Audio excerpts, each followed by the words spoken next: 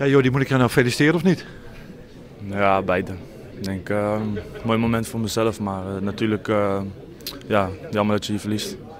Want debuteren in een Champions League wedstrijd, dat is mooi. Verliezen in een Champions League wedstrijd is niet mooi. Ja, klopt. beide weer gelijk. En, ja, natuurlijk mooi van mezelf, maar natuurlijk weer zonde dat je de punten hier laat liggen. Zonde. Ja, je hebt in het veld gestaan, jij kan erover meepraten. Waarom verliest PSV hier? Nou, het, is, het is een heel gedisciplineerde ploeg en uh, ze wachten op dat ene momentje. En dan, uh, als je dan even niet, niet scherp bent, dan, dan killen ze. Ja.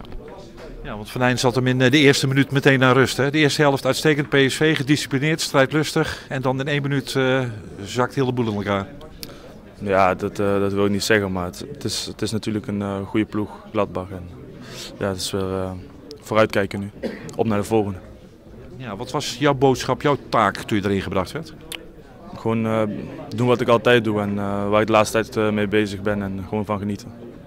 Wat ik ook een beetje dacht, er komt met Jordi de Wijs ook wat fysiek het veld in. Want die gasten van Wolfsburg leken allemaal wel 5 kilo zwaarder, 5 centimeter langer en 10 centimeter breder.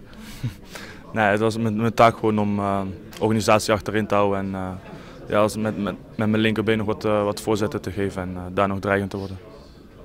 Ja, toch zul je deze wedstrijd nooit meer vergeten? Nee, nooit meer van mijn leven.